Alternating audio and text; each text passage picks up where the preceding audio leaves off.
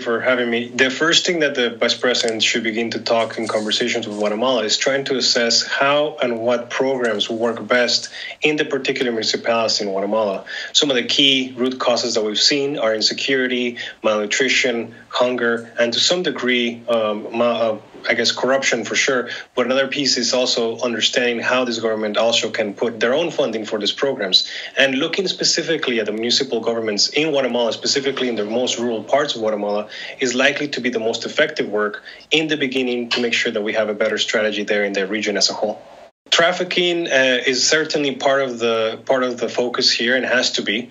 Uh, security in Central America continues to be one, perhaps, of the, the, the biggest priorities for the governments themselves as well. And it does have to be a priority, but that doesn't mean that it has to be the only one. The other pieces that I think will come after this meeting are include looking at increasing labor pathways to the United States or to other countries in the region, as well as increasing protection for migrants and refugees looking for another avenue outside of their countries, and as well as looking looking at migration controls in the same, of course, within their own countries, but also across the region as a whole. So certainly, human trafficking and uh, has to be part of the conversation, but it cannot be the only one, given the current state of the capacities of the countries, specifically starting with Guatemala. I think there's going to be a, the, the, moment is ripe for a certain action in both Mexico and Guatemala. I think we can have a debate about the other two countries in the region, but certainly with Mexico, the capacities there have increased in looking at migration control.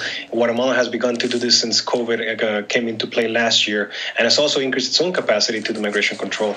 The next chapter of these conversations, though, has to be again humanitarian protection avenues for migrants, as well as legal pathways for those migrants to find better avenues to come to the United States.